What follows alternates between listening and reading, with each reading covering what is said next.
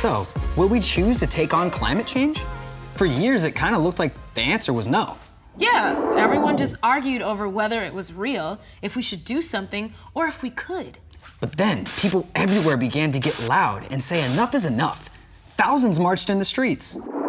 Finally, in 2015, almost 200 countries from all around the world got together and signed the Paris Climate Accord, an agreement to keep global temperatures from rising above 2 degrees Celsius. Hey, all right. So we're all good. Oh, not exactly. Now the real work begins.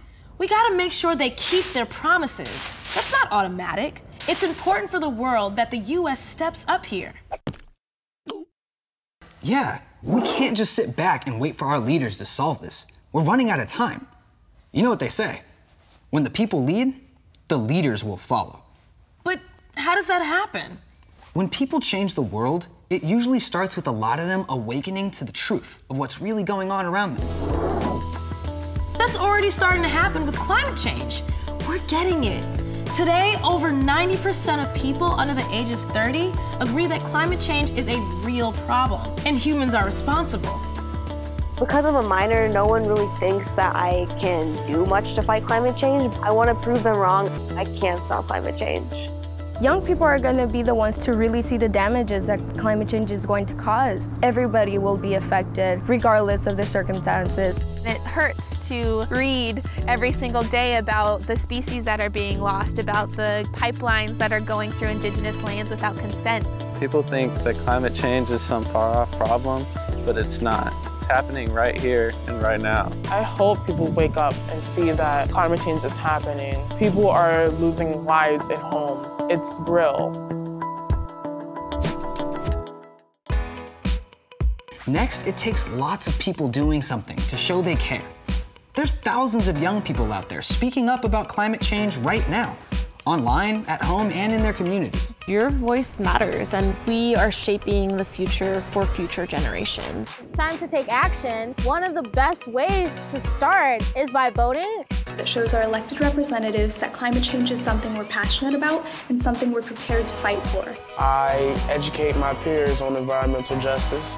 I spoke at the State House in front of politicians. The global climate strikes are providing this message that allows us to really get the world's attention.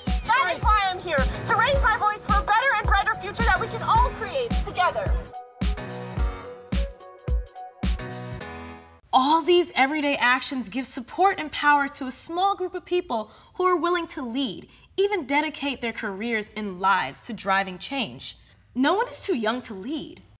In fact, some of the most passionate and influential leaders in this world are high school and college students. We want a green future. We want better, more efficient energy sources. We want a clean environment for all of us We're passionate about making this a light to remember.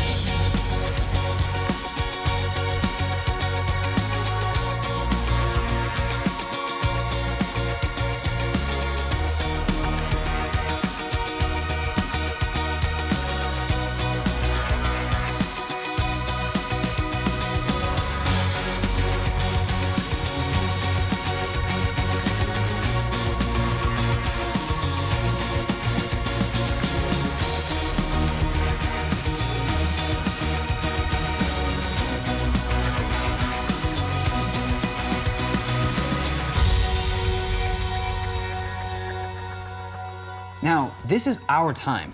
Together, we can change the world and stop climate change.